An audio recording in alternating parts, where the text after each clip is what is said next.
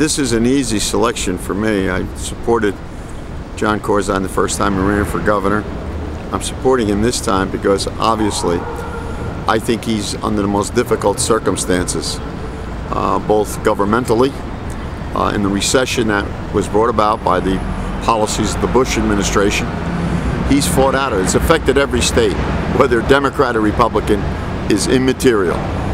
What the Bush administration did to this economy is put every governor behind the eight ball.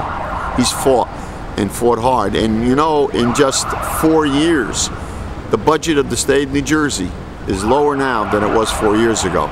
No other state that I know of can say that. It's a billion and a half less money now than we had in our budget four years ago. See, it made tough decisions. He's had to cut.